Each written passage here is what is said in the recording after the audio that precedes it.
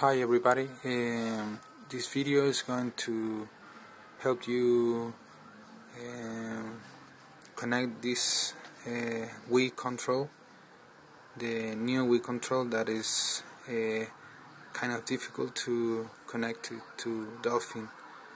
So first of all you need to connect the Bluetooth uh, adapter then you open Toshiba Bluetooth stack this is the version I have.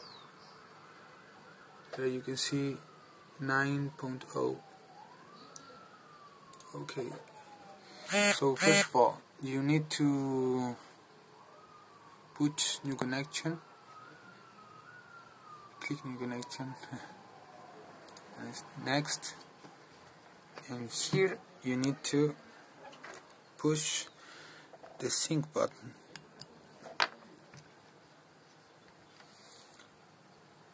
There you can see it recognizes the control. And you click next.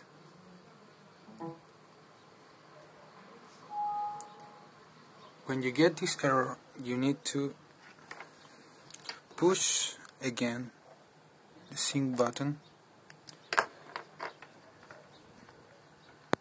and you need to wait till the lights stop.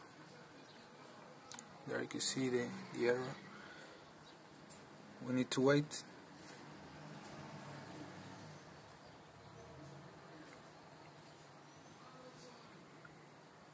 There you go.